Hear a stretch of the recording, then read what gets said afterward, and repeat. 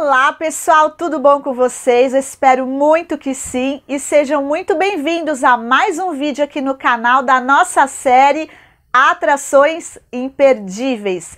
E no vídeo de hoje nós vamos falar da cidade mineira de Diamantina, que claro, tem esse nome, né, por causa da grande quantidade de diamantes encontrados, né, naquela região na época do Brasil colonial. Mas antes de se chamar Diamantina, aquela região era o famoso Arraial do Tijuco, que abrigou um dos maiores romances aqui no Brasil, né, que foi o da escrava Chica da Silva, que se tornou rainha por viver né, com o contratador de diamantes João Fernandes de Oliveira, que era o homem mais rico do Brasil naquela época, viu? Bom, pessoal, visitar Diamantina é realmente voltar no passado, né, do Brasil colonial, porque lá tem muitos pontos turísticos que remetem realmente ao século XVIII. E é por isso que nesse vídeo eu vou te indicar oito atrações imperdíveis lá de Diamantina.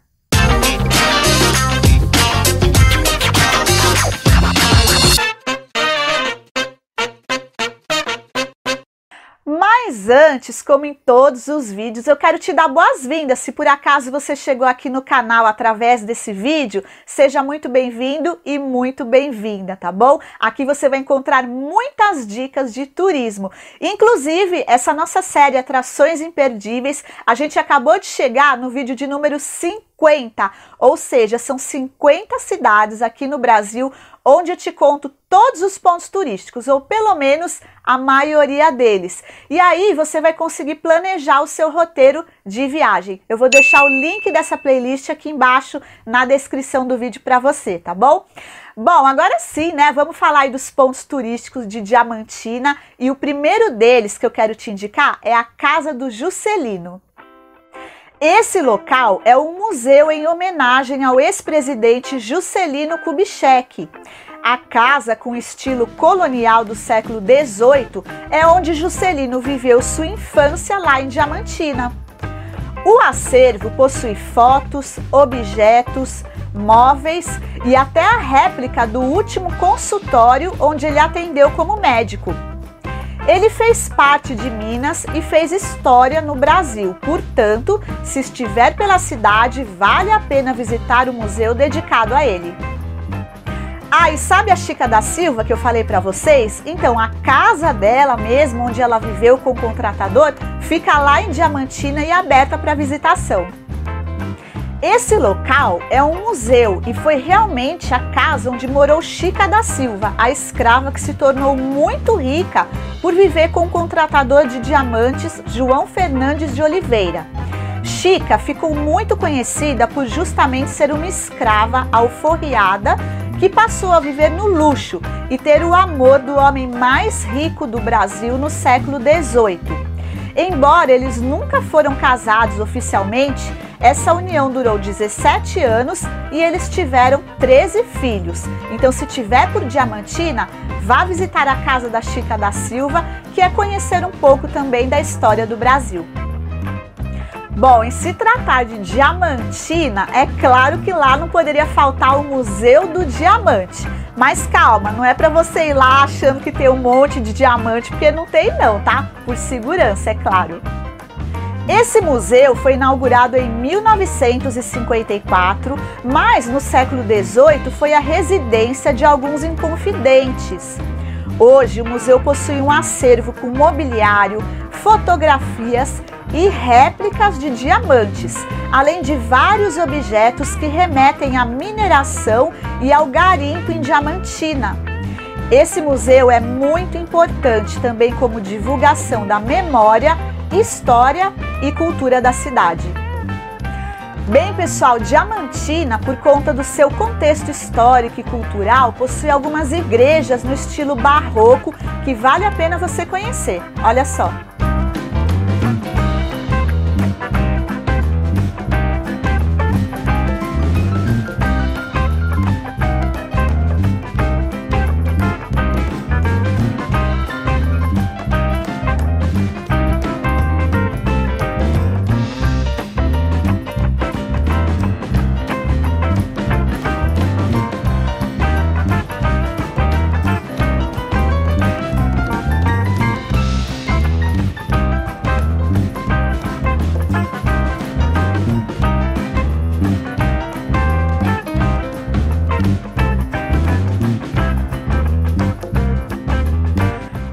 Agora eu quero te indicar um atrativo que é bem pertinho de Diamantina, mas que vale a pena você conhecer, que é o Parque Estadual do Biribiri.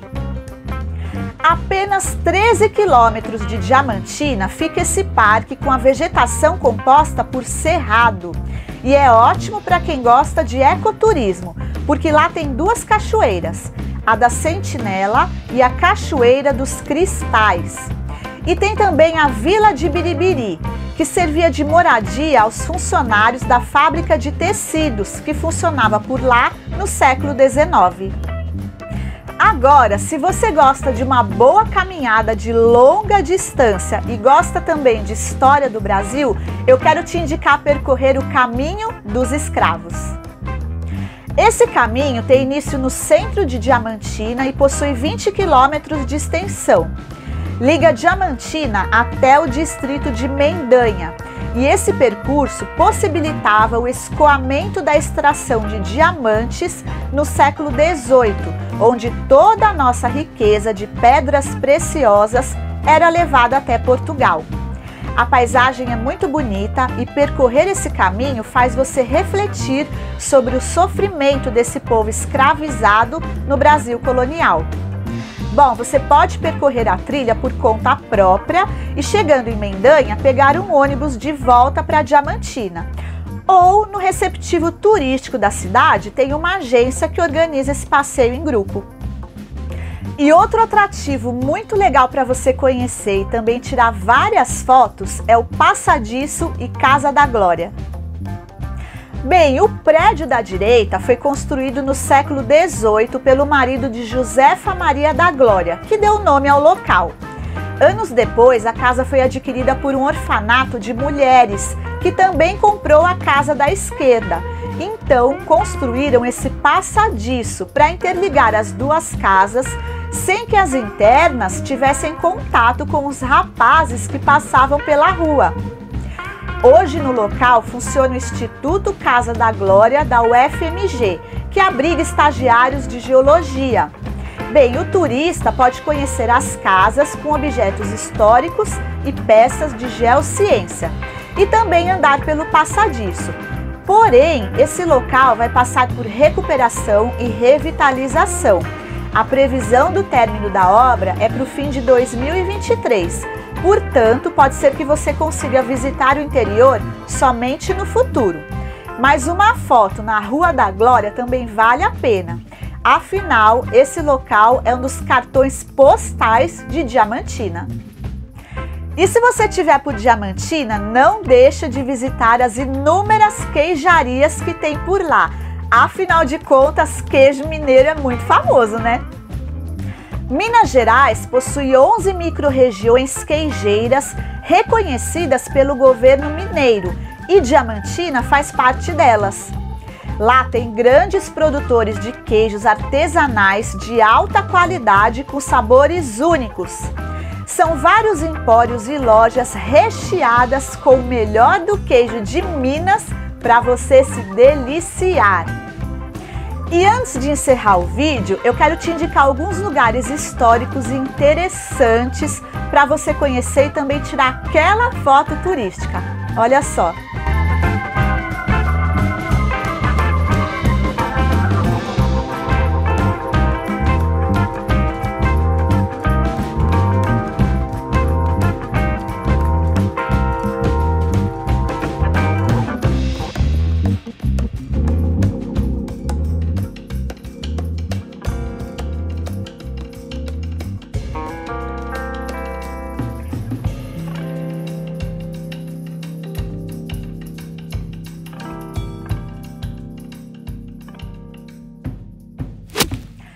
Bom, e como chegar em Diamantina, principalmente se você estiver em outro estado?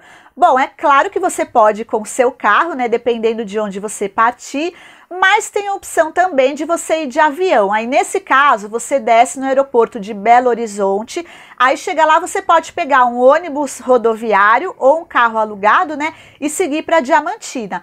Lembrando que Diamantina fica aproximadamente 300 quilômetros de BH, tá? Pessoal, Minas Gerais possui algumas cidades que fazem parte do circuito de cidades históricas.